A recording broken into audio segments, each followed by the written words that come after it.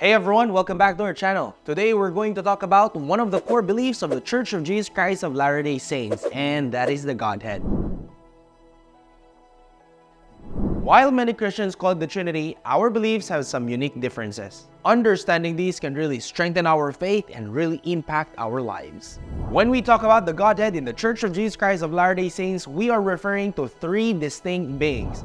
God the Father, His Son Jesus Christ, and the Holy Ghost. Each has a unique role, yet they are united in purpose and doctrine. In contrast, traditional Christianity often speaks of the Trinity, a doctrine that suggests God exists as three persons in one essence. This is a significant theological difference.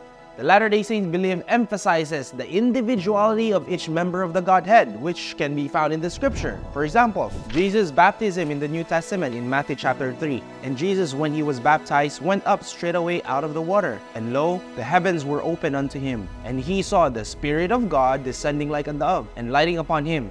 And lo, a voice from heaven saying, this is my beloved Son, in whom I am well pleased. At Jesus' baptism, all three members of the Godhead were there. Jesus being baptized, Heavenly Father's voice from heaven, and the Holy Spirit as a dove. Each has a unique role, but unified in one purpose. By understanding this concept, we can appreciate our unique relationship with each member of the Godhead. They are not just titles, they represent personal connections that can have a big impact on our lives. Now let's identify them. Number one, God the Father. Understanding that He is a loving Heavenly Father allows us to feel His guidance in our lives. As we turn to Him in prayer, we can receive comfort and direction from Him. Number two, Jesus Christ.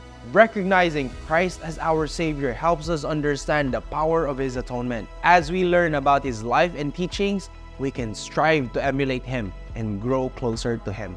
And number three, the Holy Ghost. The Holy Ghost serves as our companion and guide. By understanding His role in our lives, we can learn to recognize His promptings, which can lead towards good choices away from harm. You see, knowing the Godhead can totally change our lives every day. It helps us lean on the strengths of each member, giving us a solid support system as we go through our spiritual journey. We invite you to learn more about our beliefs. If you're curious, don't hesitate to reach out to a member of the Church of Jesus Christ of Latter-day Saints or speak with the missionaries. They would love to share more about our faith and how it can bless your life too. You can also message us here. If you found this video insightful, please give it a thumbs up and share it with your friends. And that's it for our video. Don't forget to follow us in our other social media account. Until then, we'll see you in the next video.